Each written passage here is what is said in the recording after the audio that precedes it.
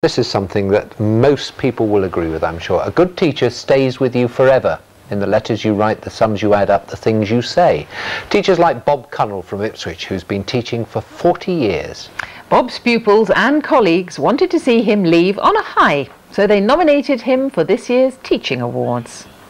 He's kind of cool and um, he's really funny and he's a lot of help as well. Well, he's a great friend, a great teacher, and I heard he was a great cricketer when he was younger. He did teach his dad, so um, he's been around a fair bit. We decided we'll all sign a petition so that it won't leave, but we couldn't convince him, so he's going anyway.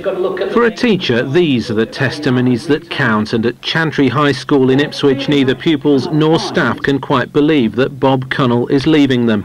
He's been there since 1963, all his working life, and it's been more than just a job laughed and laugh and say that I was here and the school was built around me. What is enjoyable, I think, is that um, things like parents' evenings, I, I, meet so many people that I have actually taught. In fact, I, am now going through my third generation of some families. Uh, and it is rewarding to know that the parents still respect me as they did as students. Bob has been described as teacher, mentor and social worker.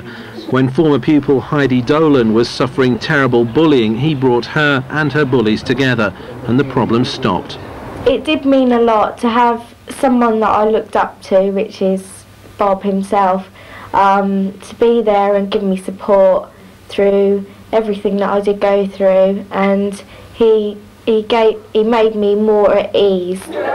Everyone at Chantry High has a tale to tell about Bob Cunnell. He's coached countless sports teams to success, touched the lives of thousands of pupils, even starred in the school panto. I think I've stopped you from coming to you. Don't you, don't you. You can't replace people like Bob. You get good replacements, but they're good in different ways. But Bob is one on his own, and we will never replace him. In fact, they'll all be sad to see him go when term ends. Chantry High without Bob Cunnell simply won't be the same school. Ian Barmer, BBC Look East, Ipswich. Oh, how lovely. He doesn't look old enough to have been a teacher there for 40 years, does he? No, does no, he? he doesn't. He'll love me for that.